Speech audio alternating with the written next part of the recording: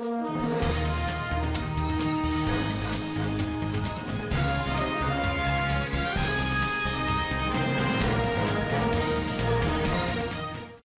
and recent opinion surveys predict that the incumbent ZANU-PF party will win the elections next month by a wide margin. Mass Public Opinion Institute MPOI poll results showing ZANU-PF comfortably ahead of the opposition are consistent with other polls and popular opinion. According to leadership experts.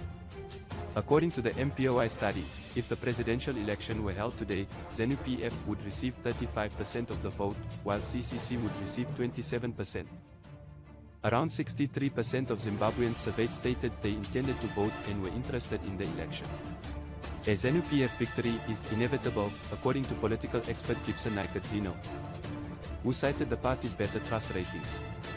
President Emmerson Mnangagwa merits re-election, according to Rutendo Matinyore, for his accomplishments in building new roads, bridges, dams, and achieving record agricultural and gold output because to the advantages of the incumbent, a different survey conducted by US company Fitch Solutions predicted a comfortable majority for ZANU-PF.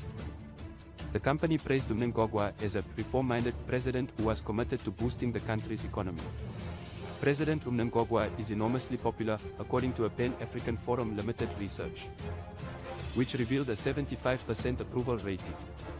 With 19% support for Nelson Chamisa of the CCC, Mnangagwa was the most desired candidate in the survey of more than 3,000 respondents. About all of the registered voters declared their intention to cast a ballot. The surveys predict that ZANU-PF and President Mnangagwa would win by a wide margin on August 23, but the opposition contest the polls and insists they will win the election.